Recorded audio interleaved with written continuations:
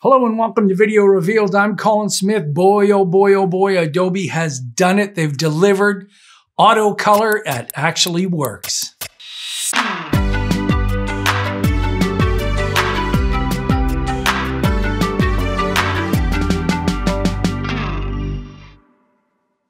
All right, we see a lot of automatic color, auto color, auto stuff all over the place, but it only makes sense if the change is based on the clip. So if a clip is dark, it'll change accordingly. If it's light or it's desaturated, it changes based on the clip.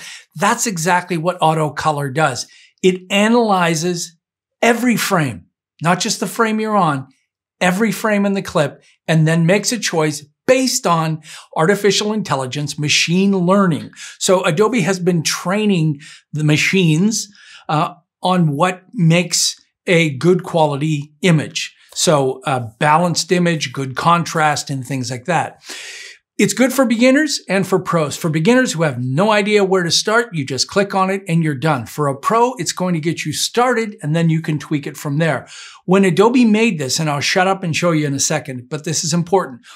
When you make an automatic setting, you have two choices. Make what's called a black box. That means it looks at it, it makes a change, and then the change is unchangeable. Or you make a change based on the tools already in the Lumetri color panel. And that means it does it for you. But more importantly, guess what? It's a way for you to learn. You can see the changes of the sliders, which way they go. And maybe when you do this over and over again, you start to understand how to automatically get that color you want. Let's have a look. So I'm going to go to my color uh, workspace. Your color workspace might be hidden under here. This is the new workspace. I have a clip selected and you can see this clip. There's not a lot of contrast in this and it's kind of drab. So in the basic correction, that's this correction here at the top, um, there's now this auto color button. Watch this. Boom. I'll turn that off and turn it on. Wow. I mean, holy smokes. Let's look at what it did. It changed the temperature minus 15.3. It changed the tint plus 1.9, so a little bit into the magenta. It changed the saturation down to 90.1%, changed the exposure, contrast, highlight, shadow, and uh, the blacks. And this is the incredible part of this change, the intensity. You like that change, but you want more of it? Then turn it up and watch the sliders. They're moving in relative positions as you turn it up. Okay, that should freak you out. That is a great thing. If it didn't do that, then you would have to add a little bit more exposure, a little bit less, more contrast, a little bit, a little bit, a little bit, but it's making that a relative change. So click one button, leave it, or click and drag the slider. Let's try some more. I chose this one for two reasons. First of all, uh, to have a different skin tone and to have an incredibly uh, influential background color. Let's see what happens here. Boom. Look at that. From that to that, it's almost like somebody brushed away a bunch of, of uh, orange frost on the top. Look at his crisp white t-shirt now.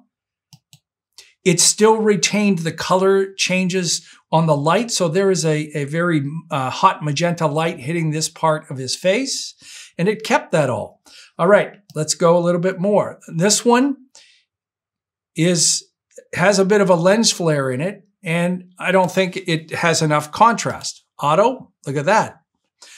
These are good changes. They're not over the top crazy changes. They're the kind of changes that a colorist would do. Remember, it's analyzing all of the frames. Okay, the next one I added specifically to see if I could trip it up. In this one, the frames are not the same. We've got a giant lens flare happening here, and then we have a darker segment here. The light is behind her. So let's see what auto does there. That's it. That's all it needs to do. It keeps the lens flare as part of it, obviously. And if we turn it on and off right here, you can see it, it's not doing a lot. Now, it's not lighting her up. It's shot this way. Her face is going to be darker than uh, elements in the background. If you wanted her face lighter, Auto's not going to do that, that because that's an isolated selection, which you could do in Lumetri by adding in a mask and, and brightening that up. All right, let's go to this one, which has a blue tint on the whole thing. Again, a nice change based on that clip. Look, it's subtle. It's all that's needed. I mean, I don't want to take all of the, the blue if I want. I could just take that the whole temperature way up there and try to do things like that. But the auto setting is perfect. And you can reset that at any time. Okay. So now let's go to this one. Here again is another one with a different skin tone, but again, it, there's not enough contrast in this shot. And boom, there we go.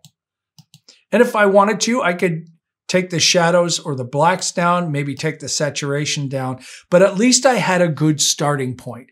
That's what I love about this. I'm going to use this all the time because you don't have to accept 100% of those changes. Hit it, look at it, great, I love it. Or mm, uh, like I did, I want those blacks to be a little bit darker. All right, let's look at this one. This is a very stylized shot. There's not a lot of natural light in here at all. Let's see what happens. Oh, look at that. Here's before and after with that. Nice. Okay. Um, and this one, very plain, almost monochromatic shot. Nice, very neutral. Look at how much of a temperature uh, change it had to do to balance that out. Let's look at this one. Shouldn't be too much of a change, just subtle. Now, this one I picked because there's a lot of haze in here, and I don't think there's a lot of uh, uh, darks that are going on. Okay, there we go. And then the last one is very washed out. Let's try this. Okay, and there we go. That's that. So there you go. There's auto color. Like I said, it analyzes every frame. It uses machine learning, which means it's going to get better and better and better. Adobe will continue to do this kind of uh, stuff in not only here, but also in things like Photoshop, where the machine learning based on real actual examples that they feed thousands of examples uh, into uh, machine learning, it's going to get better and better and better. I love this. I love that it's not a black box. It's it's easily tweakable. And that intensity slider, whoo, that's nice. I really love that. All right, congratulations, Adobe. You really knocked it out of the park on this one. Hey, if you're new to Video Revealed and uh, you thought something like this was useful, then take a moment and subscribe. If you want to support us some more, you can do that on videorevealed.com slash shop. Donate once, monthly, any amount you want. We love our many donor, donors. Thank you so much.